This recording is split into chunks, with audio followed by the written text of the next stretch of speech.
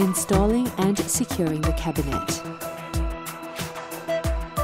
Determine the installation position and draw mounting holes.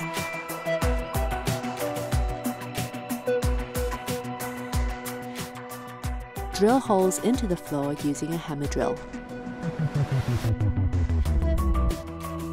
Partially tighten an expansion bolt and use a rubber mallet to knock the expansion sleeve completely into each hole.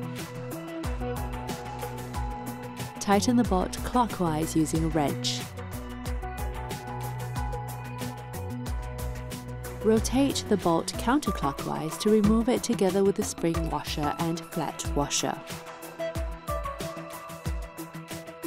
Wheel the UPS onto the installation position.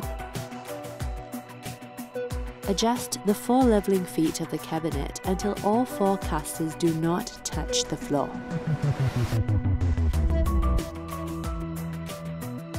Remove the rear cover from the cabinet. Check the cabinet position using a level.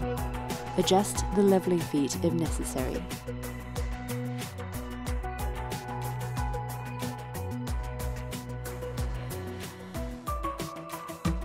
Remove the four rubber plugs, two front and two rear, from the bottom of the cabinet.